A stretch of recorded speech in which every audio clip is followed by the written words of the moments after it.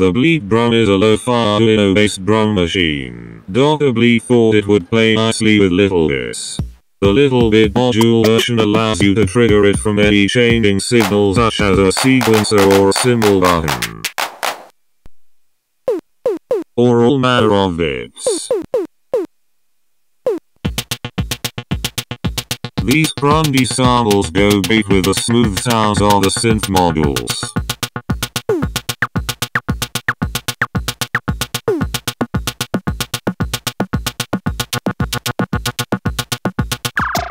Dr. Bleep and Company think it would be a great addition to the Little littleBits library.